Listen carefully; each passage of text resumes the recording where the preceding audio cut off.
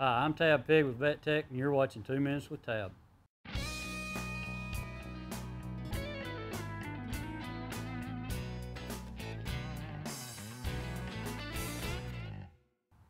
Okay, what we're going to do today is a little bit different sole guard pour. Uh, Pat does this on a lot of his endurance horses, horses that are wearing boots. Basically what he's going to do is he's going to go in, he's going to show us how to prep his foot. He's going to pour the pad before he trims it. What that's going to do is allow more space for that pad to be a little bit thicker. If we trim the foot down to where it would be normally, our pad's going to be even thinner. So what we'll do is, or what Pat will do is leave that that hoof wall extended up, pour his pad, mold it, and then give it a quick trim. So I'm going to let Pat get to work on this guy and show you how he does these.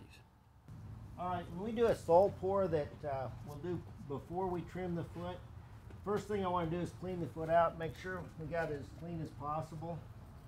So I will clean it out with a uh, hoof pick and then we'll use a rotary drill on the bottom of the foot.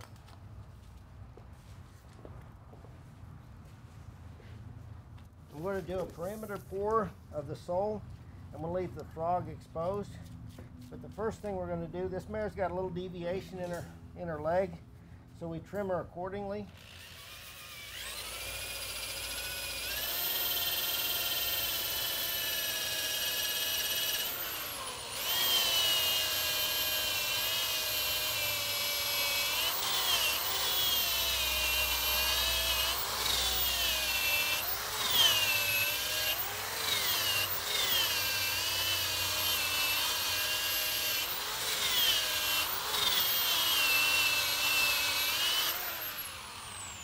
As Tab mentioned, we do this on our horses that we're uh, putting into boots or endurance horses, but I've also done it on some horses that just needed a bit of help.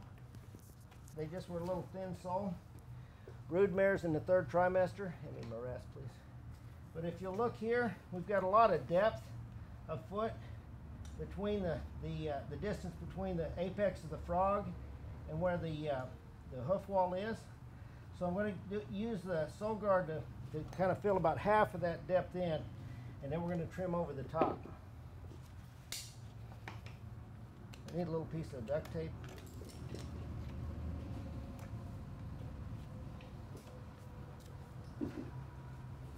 So as you see that we've uh, we've cleaned up the bottom of the foot, we're going to use a heat gun on it, and then we're going to put this duct tape across the heels.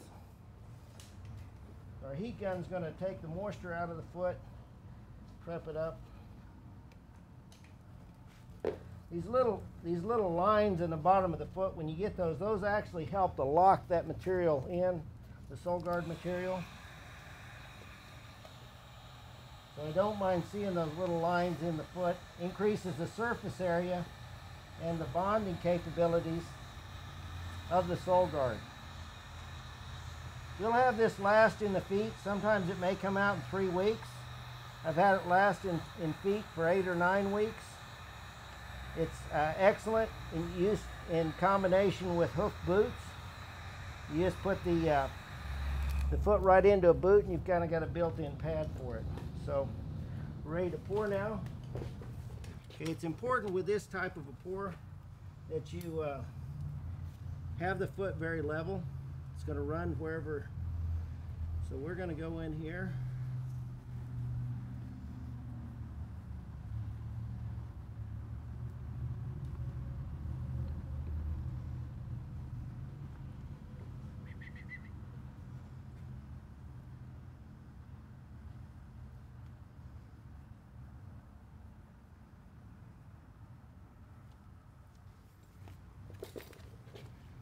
All right.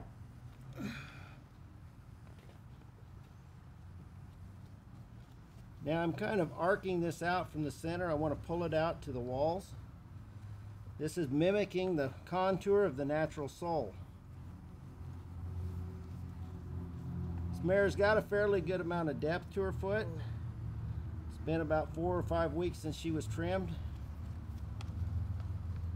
She's a competitive horse, has been shown barefoot through this last season.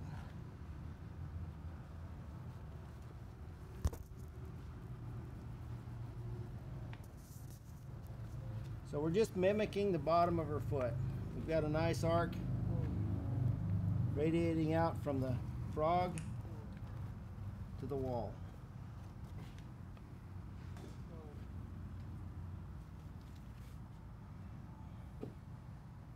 We're going to go ahead and let that set up and then we'll do our trim. All right, we've applied the material to the bottom of the foot. We use Sole Guard. Then I used my, my hand to sculpt this under the plastic. So we mimic the contour of the natural foot. And then we covered it with the, the uh, plastic here. We let it cure for about 15 minutes. And now the material is set up nice and firm. It's not going anywhere. And I'm going to now trim the foot. If you'll watch, I'm going to actually approach this a little bit differently. So the angle of my nippers is not flat, straight on like this, but I actually trim it a bit of an angle. And on this mare, she's a bit pigeon-toed, so I'm going to actually drop her medial toe just a little bit more than the lateral. So I did not trim anything out of the bottom of her sole, only remove material with the rotary wire brush. Now I'm trimming her bringing her heels back to the widest point of her frog and keeping this rasp away from your sole guard you're going to sculpt the outer wall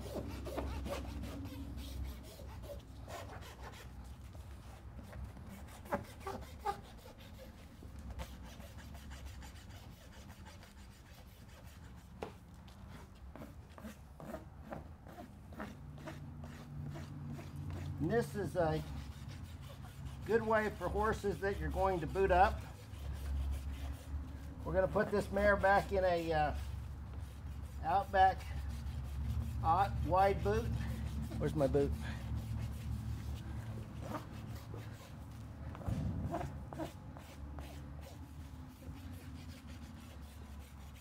So if you're going to leave the horse barefoot and not boot them, you're going to use, uh, at this point, just a little bit of duct tape over the foot.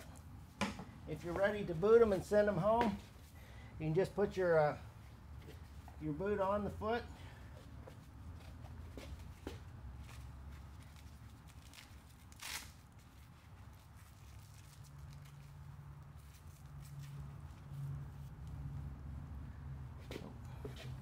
She's ready to go.